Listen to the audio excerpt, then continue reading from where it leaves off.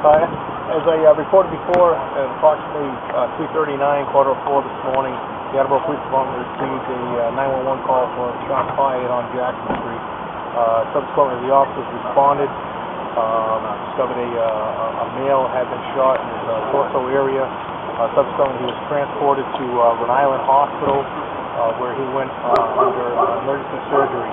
He has um, been through surgery, uh, out of surgery. He's recovering now, and uh, what the, uh, the doctors have stated that uh, he is going to uh, provide from his uh, injuries at this point on a subsequent basis at this time.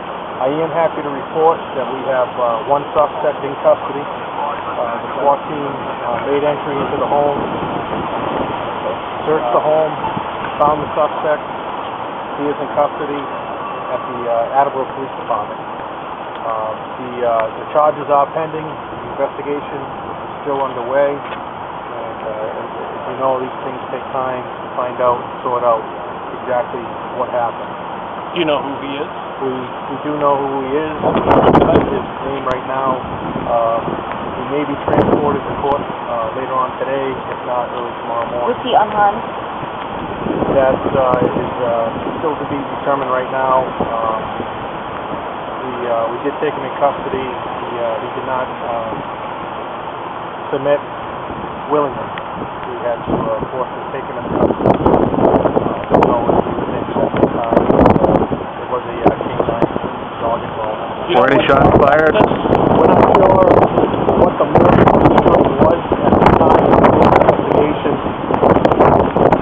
Do you know more about the relationship between the two? That is uh, still going to be out through this investigation. Is there anybody else? There is uh, no other suspect at this time. We are still interviewing witnesses that were on scene at the time of the shooting. So um, at some point in the future, we'll have uh, more information that we can release to the to the media to exactly uh, what happened and uh, hopefully understand what the motive was in that. Was he alone inside? No, there was a uh, small child and a woman inside the home. Uh, unsure if they would uh, willingly come out or were holding at bay. Uh, watching uh, Fernandez and myself decided to take a very uh, slow, methodical approach to this uh, to uh, make sure that it's peaceful. Report that it has. That's all part of the Where, where did you, find- where- where was he found? I know some pretty family was in the Uh, the, the top floor of the, uh, of the building. And and you can tell us a little bit about, I know you had dogs, and how did that work into the, the and then finally arrested? That was all part of the coordinated effort with the uh, METROLEC SWAT team, who did an absolute fabulous job. Uh, the METROLEC SWAT team composed uh, of many uh, cities and towns, county agencies, uh, the consortium, uh, the uh, SWAT team, and they came down, they responded, they did uh, a marvelous job.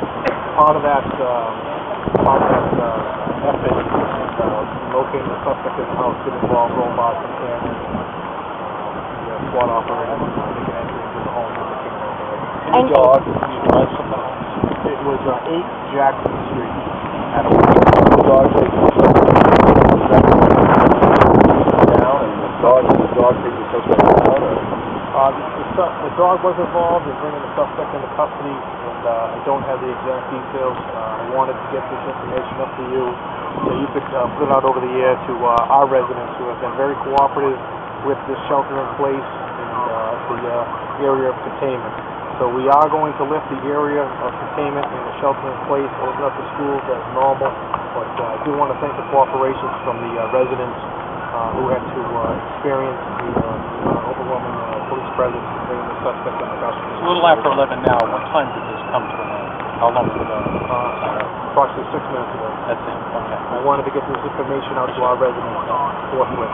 What kind of charges did you send you, Uh, obviously, assault, battery, uh, dangerous weapon, uh, and, uh, depending on uh, the victim's status and the other side depending.